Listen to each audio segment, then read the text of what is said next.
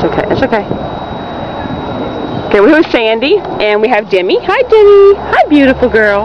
And how old is Demi? Demi is 11 months. Okay, and she's a puppy.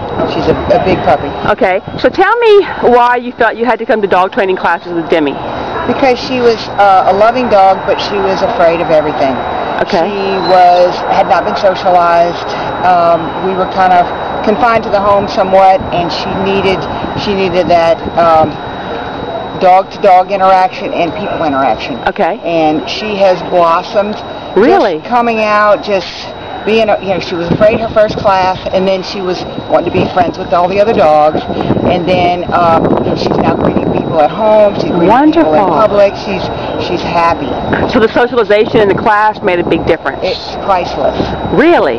Wonderful. And we had a pretty big class too, Yes, didn't we? we did. Lots of different lots of different personalities. Lots of different personalities, and she's grown. We've developed. Our bond was strong, but it has developed to be even stronger, um, almost Okay. telepathically.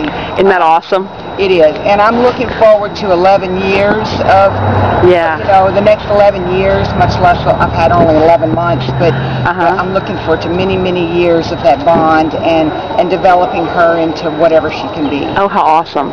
So, So- what is it you were you were telling me? Um, I think the third class or so, something that you realized you you did unintentionally with Demi. Uh, well, I was, I'm a cancer survivor, a leukemia survivor, and I was going through a nurturing stage, and I needed to um, uh, take care, and I needed something that loved me. I needed something that was just, I, and I just, I took her from a itty bitty puppy, and just, that's all I wanted to do was hold her I love her. and love her and I overspoiled her and I didn't allow her I didn't correct the things that I should have corrected because Okay. I loved her.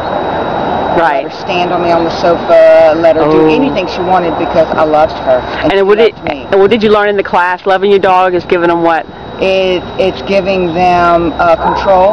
I mean, giving that, loving them is giving them the bond with me, but, um, but it, you know, it just, I loved him, loved her too much that it was, a, it was, it hurt her.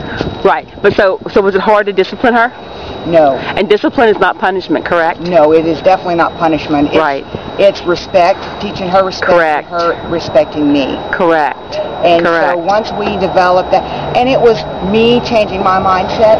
It Mhm. wasn't because she was waiting for anything.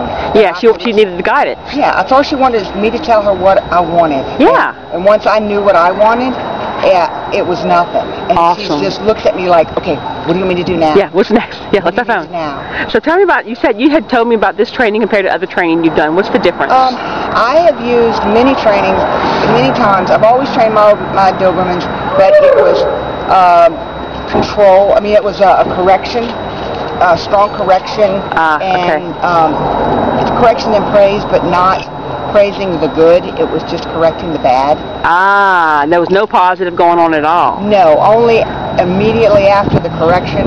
But if you can make Oh, my. positive um, out of everything, Right. there's rarely a negative. And she loves working for positive, doesn't she? Oh, does she? yeah. yeah. Isn't that awesome? It is. I, I, want, I was I was so thankful when you told me about that. That because I don't know how many you can really recognize the difference, but the positive reinforcement training is awesome. I have to agree. It is. Say hey, darling. And what I like, what I love too is you're making your dog like to bond with you more, and they're not scared.